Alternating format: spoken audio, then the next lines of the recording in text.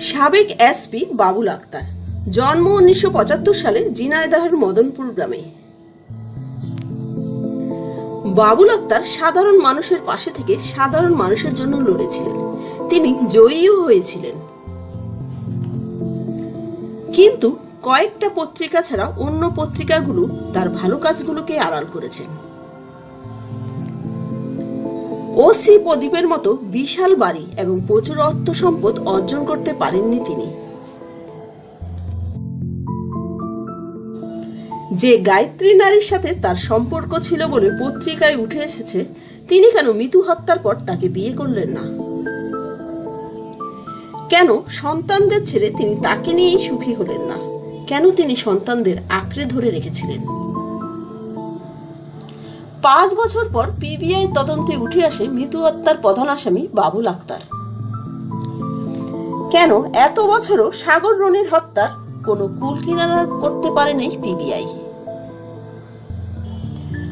আসসালামু আলাইকুম viewers, welcome to my channel. ভিডিওটি ভালো লাগলে লাইক, শেয়ার, কমেন্ট করতে ভুলবেন না। বাবুল আক্তারের কিছু চমৎকার তথ্য আজ আমি আপনাদের সামনে তুলে ধরব। বাবুল আক্তার ছিলেন চব্বিশতম বিসিএস কর্মকর্তা। দুই হাজার আট সালে চট্টগ্রামের সহকারী পুলিশ সুপার হিসেবে পদোন্নতি পান।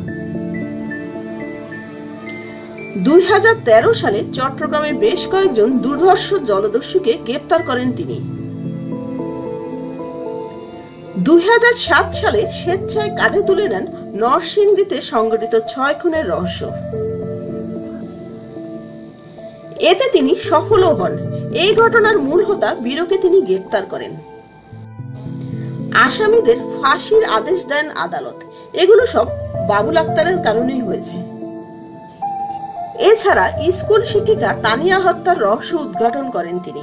সফলও হন।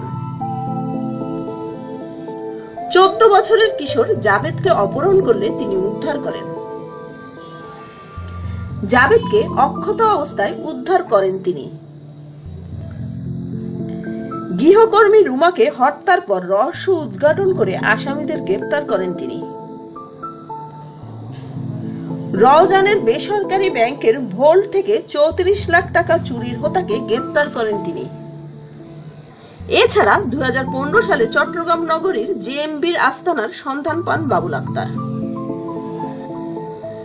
জঙ্গি আটক অভিযানে নেতৃত্ব দিয়ে আলোচনায় আসেন তিনি।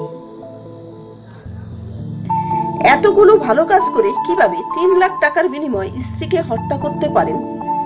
এটি সাধারণ জনগণের প্রশ্ন। পত্রিকা চাইলেই কাউকে হিরো থেকে ভিলেন বানাতে পারে।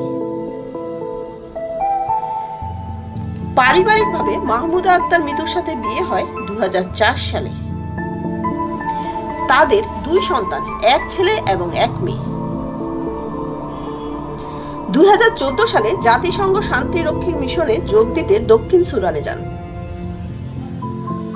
সর্বশেষ দুই হাজার ষোলো সালে এসপি হিসেবে পদোন্নতি পেয়ে পুলিশ সদর দপ্তরে যোগদান করতে থাকেন। সে যদি স্ত্রীকে হত্যা করে থাকে, আমরা চাই তার বিচার হোক। পত্রিকা চাইলেই কাউকে হিরো থেকে জিরো এবং জিরো থেকে হিরো বানাতে পারে। আমরা চাই যে দোষী তার বিচার হোক। তদন্ত কর্মকর্তারা বাবুল আক্তারের সন্তানদের খুঁজে পাচ্ছে না। বাবা হিসেবে কেমন ছিলেন তাদের সাথে কথা বললেই জানা যাবে। ভিওয়াজ আজ এই পর্যন্তই। দেখা হবে পরবর্তী এপিসোডে ততক্ষণ পর্যন্ত সবাই সুস্থ থাকেন, ভালো থাকেন। আল্লাহ হাফেজ।